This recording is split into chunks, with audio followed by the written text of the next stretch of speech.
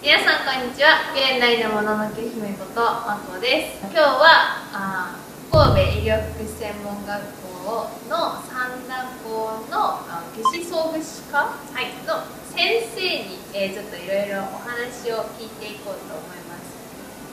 えー、ではよろしくお願いします、はい、お願いします技師総具士とは何だっていうところから聞いていこうかなと、思います、はい、はい、どういうものを？作るのかとか大体やっぱり一番初めに来るのがこういうスポーツタイプ。で義足だと思うんですけどそれじゃなく、まあ、身近にどういうものを作っているのかっていうのとかちょっと教えていただきたいですはい。そうですね。義肢装具士って言ったら何やってんのってまだよく聞かれるんですよ。で分かりやすいために義足とか作ってるんですって、まあ、言っちゃうんですけど装具が必要な人と義肢が必要な人義足とかが必要な人の方が少なくて、あのではあるんだけどうまく機能しないっていう変形とか障害がある人の方がやっぱり数としては多いので、そっちに対応する数の方が多いんですよ、はい、すごい皆さんで言ったら使ったことあるかもしれない。首のねムチ打ちのね、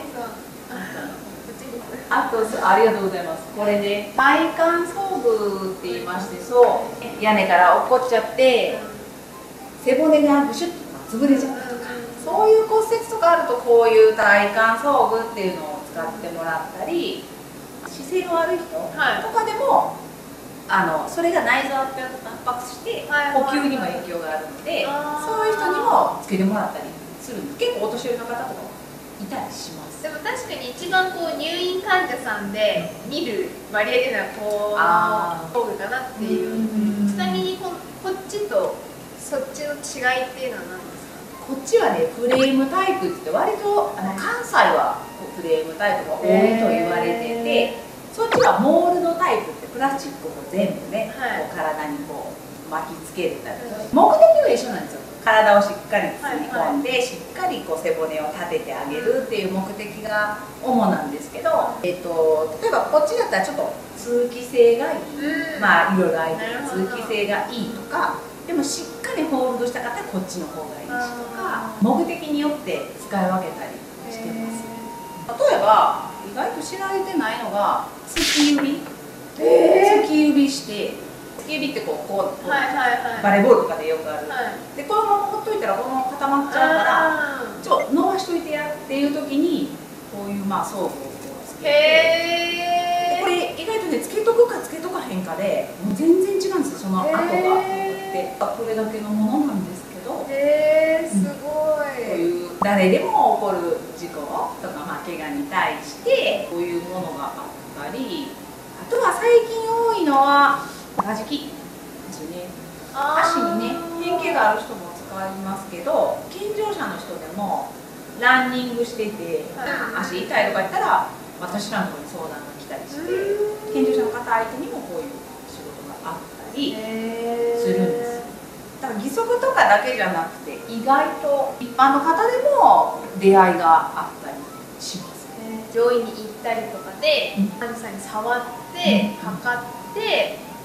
で自分で作るってことですよね。そうですね。でも体のことも勉強しなくちゃいけないし、うん、ものづくりのそういう工具とか材料とかそういうのも勉強しなくちゃいけない、そうですね。えー、すごい、うん、なん何でも屋さんというか。そうですね。ね、うん、人間の体の仕組みをまず知って、うん、問題がなければどう動く、うんうん、で問題が起きたからこうなってる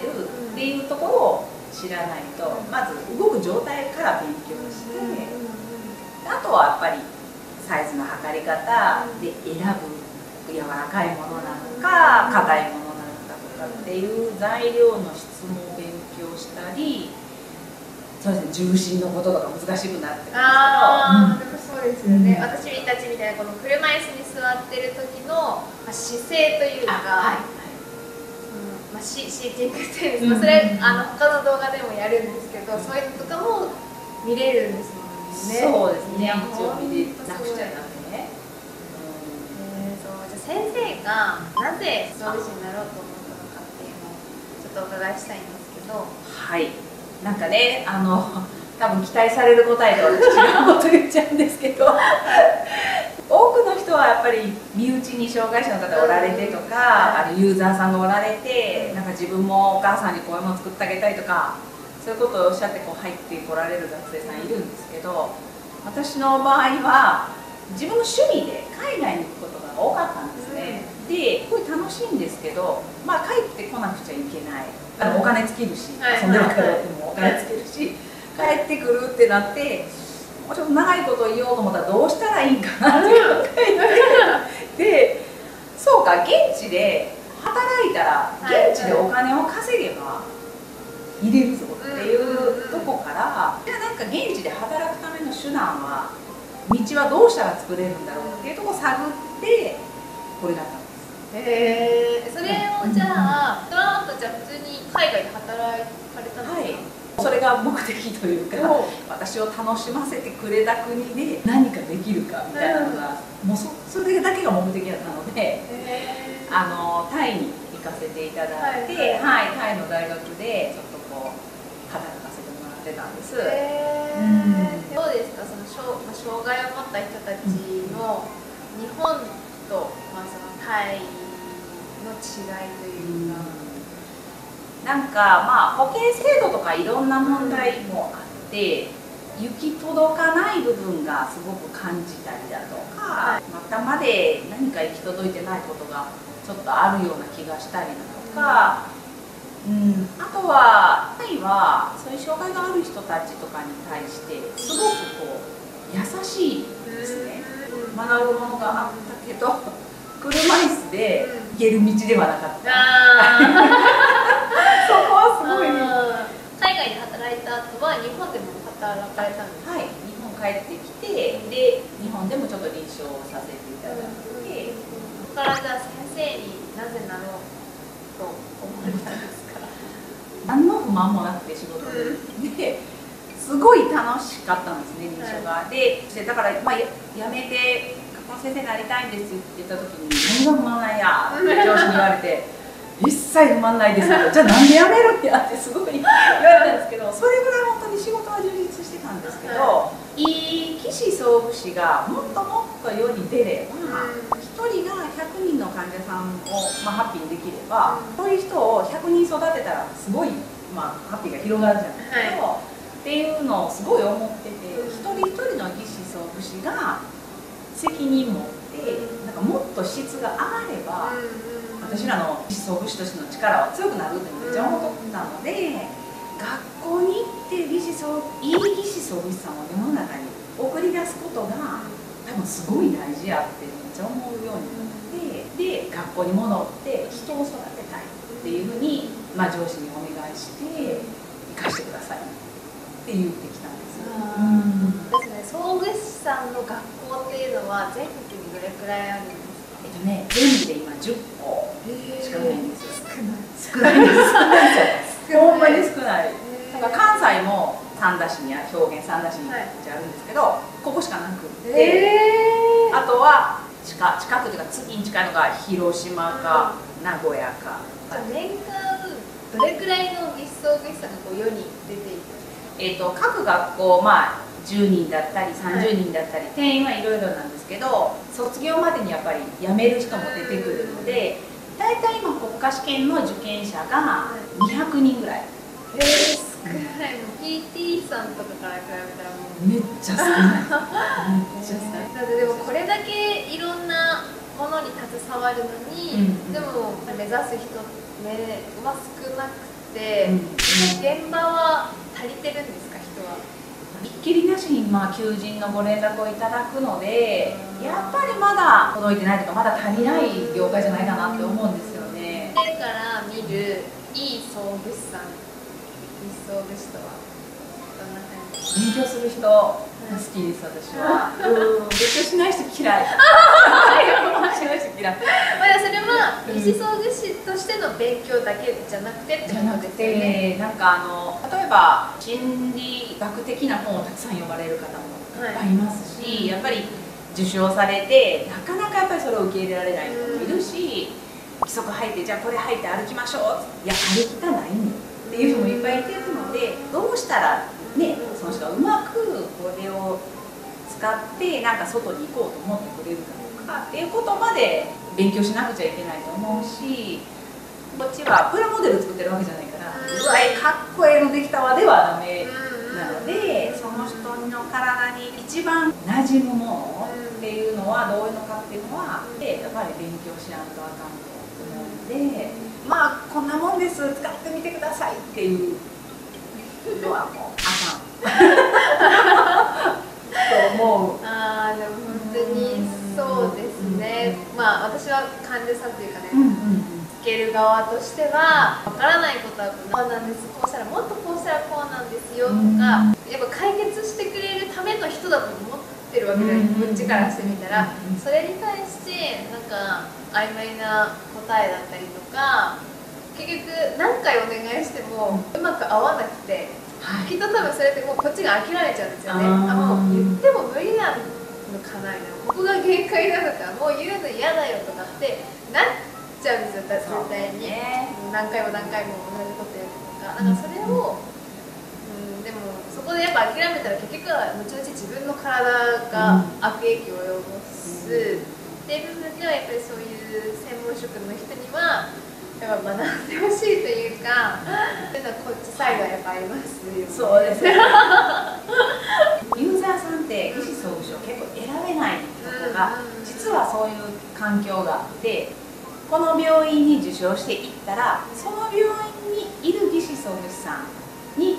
頼むことになるんですよ。ユーザーさんにしたらまな板の声じゃないけど、こうね、お願いしますってなるじゃないですか、でその時にもう運命決まると思うんですよ。そうですね。でなんかだからそれは良くないなと思ってて、じゃあこの三田校に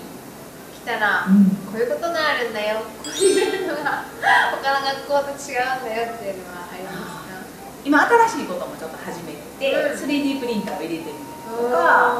これは既製品ですごく成功にできてるんですけど、はい、より本当にその人にそっくりなものを作るための技術があるんですけどそういう特別授業が始まったりとかスポーツ義足もちょっと授業に取り入れていこうとしてたり。特に学生さんがこういうことやってみたいっていう意見があるところをちょっと吸い上げさせてもらって授業の中に組み入れていくっていうことをすごいやってたりとかあとは割とあの私の印象では勉強熱心な先生が多い感じがするので情熱のお尻になりますけど めっちゃ頑張っていい技術をしなろってなりたいって思うんやったらどうせやったらうちやな。っていうもう手前味噌ですけど。マジで。難しいんですけどねやっぱり学生の、ね、自由に楽しく勉強したいっていうと割と厳しく当たることももちろんあるので。それは生徒のためですからね、いやほんまにあの患者さんにとっていい技師総務省を育てるために来てますしみんなもそうなってやっぱり出てほしいってほんまに思ってる。んでなんか中途半端な換気でやったらあかんっていうのはね 感じてほしい。私からもやっぱりたくさんいい技術装備士さんが出てくれて、うん、みんなが履きたいとかそういう、もっともっと面白い装具が出てきたら、隠して履くとか、うん、なんかそういうのもなくなってくるんじゃないのかなって思います。マコリンから見てて、こういう技師装備士さんはいいなとか、こういう技師装備士さんはごめんやけどっていうの多分出会いがあったと思うんです。けどそのなんかユーザーさんの中のお話を聞きたいでもなんか変な話金かければきっといいものができるだろうなっていうのは正直思うんです。よいいものを使ってとか。でもお金っていう部分も実際担するのはこっちなのでで結局じゃあ一生それを使うのかって言ったらそうじゃなくて、うん、まあ、壊れたりもするしサイズも変わったりするし買い替えなきゃいけないとかそういうことも結局考えた時に、うん、まあでも自分の要望もやっぱりあるじゃないですか。こういうものを作りたいとか。まあ、その費用面でこれをこうしたらこういうのに寄せれるよとか、うん、そういうのの提案とかもすごい欲しいなって思いますし一番は専門的な言葉で喋られたりとか専門的な説明をされてもそこまで分かりませんっていう感じなんですよ。そう。そう。それはもうちょっと正直、えーと、専門用語は分かを言わなきゃいけない場面もあるのかもしれないけど、そこを噛み砕いて、えー、こういうことなんですよ、だからこうしなきゃいけないんですよとか、私の要望はあるけど、でもあなたの体はこうでこうだからどうしてもそういうふうな形じゃないとダメなんですとか、なんかそういうのをお客様だから遠慮して言わないとか、なんかそういう部分とかもなんかもうちょっとなくなってほしいなっていうのは正直思いますど、うん、なんかやっぱ正直なんかもう商売商売に走られちゃったら嫌だなっていうのはありますね。やっぱり専門のプロとして卒業して試験取っていくんやったらその時はこれがどうあるべきかとかってことが、やっぱり理解できる状態で出ていってそこからまあ経験がねまた育ててくれる部分もあるけど、はい、とりあえず卒業とか、とりあえず国試取っとけばいいっていう場所ではここはないと思うので自分がどういう職業に就こうとしてるのかっていうことがはすごい分かってほしいめっちゃ思いますね。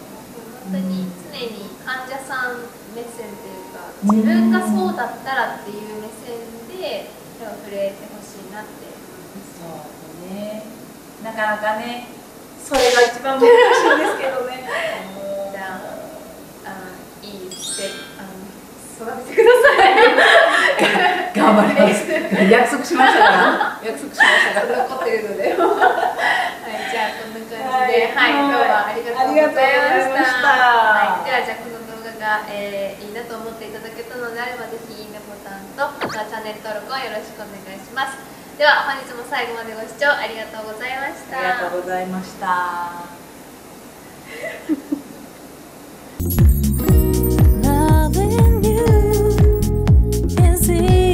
cause you're beautiful making love with you